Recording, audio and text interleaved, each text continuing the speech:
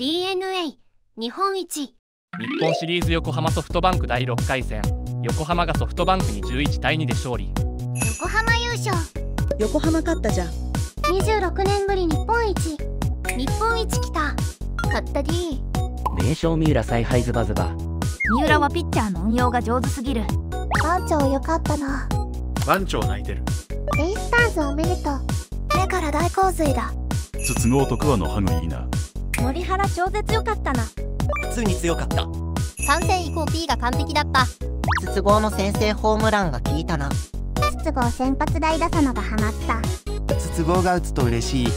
桑原大活躍やん。桑原よかったね。森は成長したな。森は来年の楽しみ。暗黒期から考えたらものすごい進化したよな。ホークス負けたばい。お疲れした。終わったかしゃあないで済まないな最後まで粘れずか。ベンチを強すぎ。4試合で2点とかどうにもならん。ソフトバンク先発有原。3回4失点。有原今日は悪かったな。有原 KO な時点で厳しかった。有原は初戦よくやったし攻められん。ソフトバンクリリーフスチュワート0.1回5失点。スチュワート疲れてたか。スチュワートはこんなところで出す投手じゃない。スチュワートは信用できないんだよな。ソフトバンクリリーフ祝い0.2回に失点岩井毎回打たれてるのに。岩井では抑えられないか。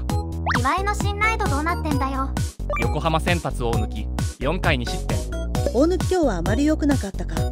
大貫もよく投げたよ。大貫はいい替え時だったな。ソフトバンク打撃成績。柳田ツーランホームラン。柳田やっぱすごいわ。柳田の一発大きい。柳田復活きた横浜打撃成績。筒香先制ホームラン。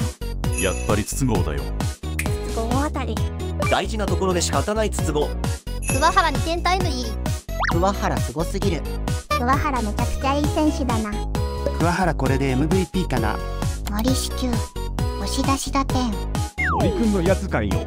森の成長はすごい。別人になってる森くん。桑原仕切る？押し出し打点。桑原さすがや。桑原内戦。桑原の集中力が異常だな。梶原タイムリー。梶原でかした梶原ガチャも来たわ。